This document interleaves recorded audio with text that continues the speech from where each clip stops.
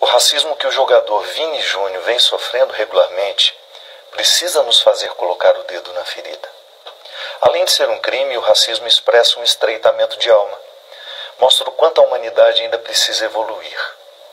Se um jogador de futebol que desfruta de prestígio mundial, pois está entre as profissões mais admiradas e valorizadas no mundo, passa por isso, imagine o que passam as pessoas pretas que estão nos subempregos, enxergadas por uma tradição escravocrata vergonhosa que ainda gera uma forma de pensar e de agir.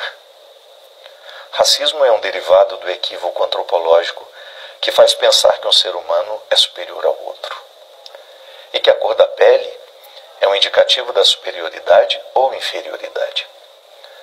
A questão é mundial e ela irrompe num momento histórico estranho, depois de um processo de profundo sofrimento global, a pandemia, que parece ter mergulhado o mundo num caldeirão de ódios, intolerâncias, preconceitos, polarizações que estabelecem muros diários, fronteiras intransponíveis entre pessoas que antes se amavam e até se aplaudiam.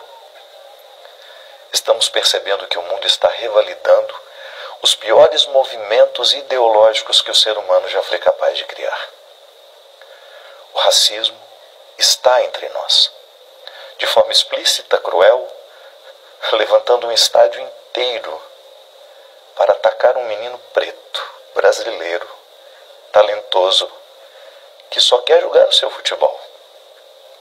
Mas ele também está nas estruturas da sociedade, nos eixos que proporcionam as relações de trabalho, na piada que ofende, no comentário que fazemos para que entre iguais a gente ria.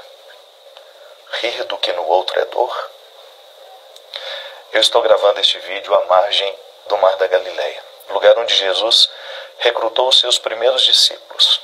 Vale lembrar que o cristianismo nasceu, cresceu e floresceu por conta de sua proposta revolucionária, a de que somos todos iguais diante de Deus.